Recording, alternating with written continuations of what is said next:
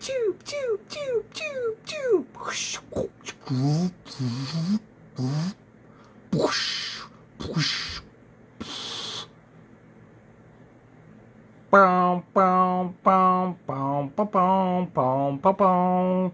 Bow, bow, bow, bow, bow, bow, bow, bow, bow. Bow, bow, bow, bow, bow, bow, bow, bow. Bow, bow, bow, bow, bow, bow, bow.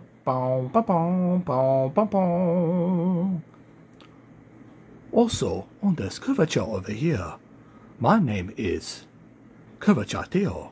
On this curvature line over here, the peak brightness is put in a SDR container. It is not in a HDR container. Though also, as you can see over here, that the peak brightness is a fake HDR.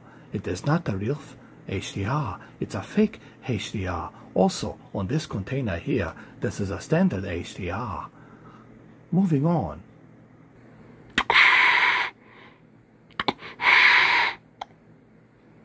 Jedi must die.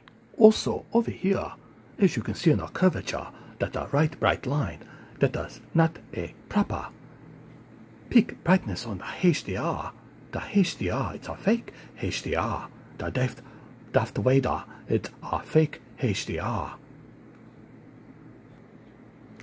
Also on this line over here, that is a curvature of the white bright line. Does not bring too much a peak brightness over here. That the peak brightness is too dimmed. Therefore, it is a fake HDR for the $5 holla, the fake HDR. Also, that's a Disney Plus, so it is not a $5 holla, it is a $7 holla. That it's not the brighter over here. This is not a proper HDR. This is a fake HDR that is not bright enough. Here you can see the not a proper curvature. Not a proper curvature. No proper curvature here. Also, on this three dots over here, that is not a proper curvature of the peak bright level. That the peak bright level, it is only 200 lumen. It should be to 1000 lumen. Also, I forgot to turn off my power savings to squeeze as much as possible peak brightness for my television. Okay, so we move on to the next segment of this fake HDR, fake HDR, fake HDR.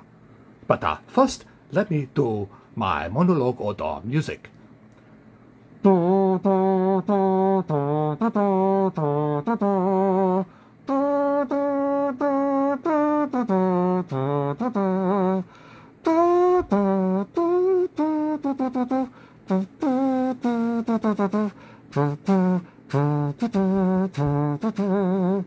Okay, here we go.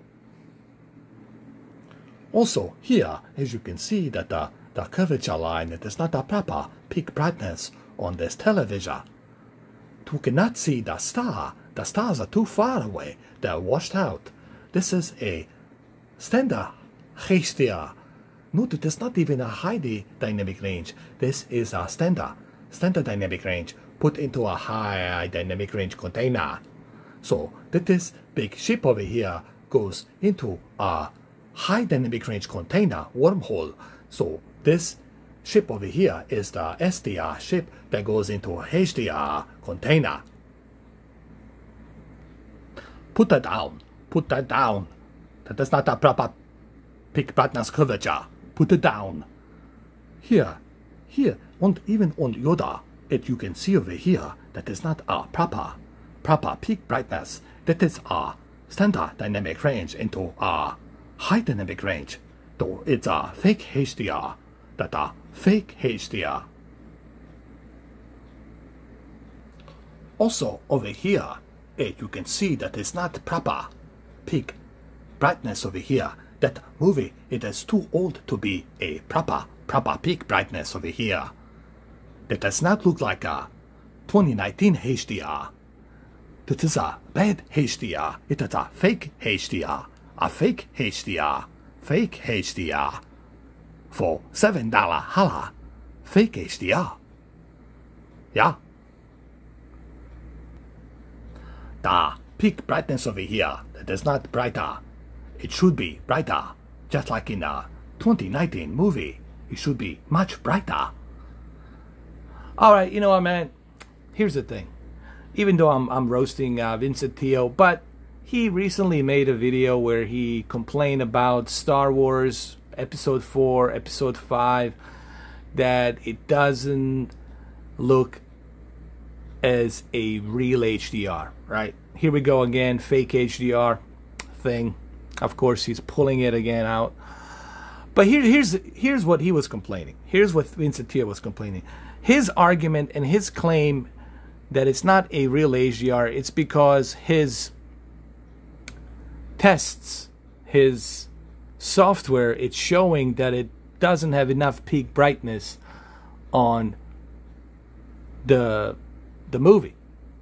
That the tone mapping it's not as bright, the scenes are not as bright. But then again, uh, Vincent Teo, you keep forgetting one thing. This is not a CGI remastered version.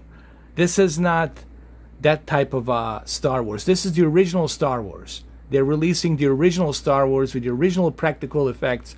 So, of course, can't expect an old movie like this to be as bright as uh, something that's using CGI, something that's shot with much better cameras in today's 2019, almost 2020 uh, era. So, come on, man. For you to, to call this a fake HDR, it's not fair. All right. It's bright. It's it's as bright enough as it needs to be. Okay, for a movie this old. Now, of course, Disney could have easily remastered this, and they could have added some extra filters to make it brighter with the CGI but then the movie wouldn't look as uh, it wouldn't feel like the same movie. All right, so for you to call this a fake HDR, it's really it's getting old, man. It's it is HDR. Granted, it's not the greatest HDR, but it's still HDR. Okay, so there you have it. Okay, now look at the peak brightness over here.